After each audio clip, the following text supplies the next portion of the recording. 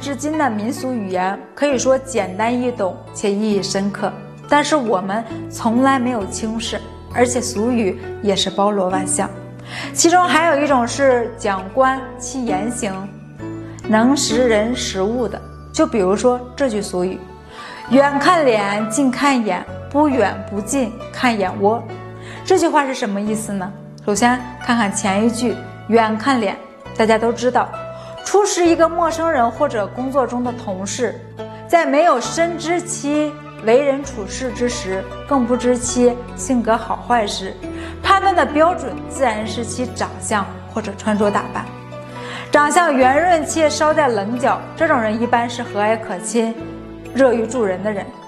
而且这样的人工作生活中比较随和，也比较谦虚低调，与他人关系比较融洽，人缘也会非常棒。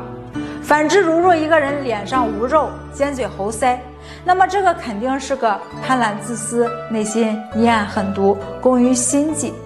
这样的人往往心机深沉，表里不一。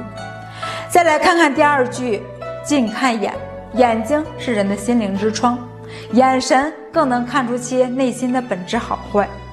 如若其眼神坚毅明亮，与他人对视清澈无比，无丝毫波动，那么这样的人为人正直、刚正不阿，并且富有爱心。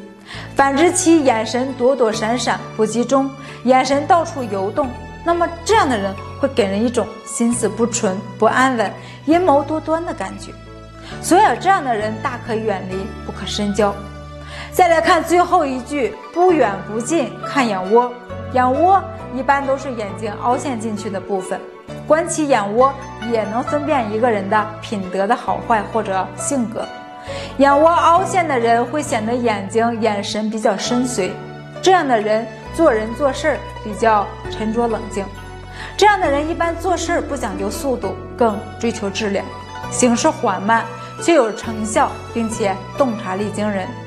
总的来说，这句俗语也只不过古人识人的第一印象罢了。时至今日，虽然依旧适用，但是却并不是绝对的。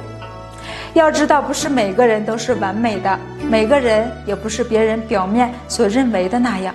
所以，生活中识人交友，查看其品德好坏，就是观其言行举止。其次，最好的方法就是时间的考验。好了，本期视频到这里就结束了。我是月影，关注我，和我一起传。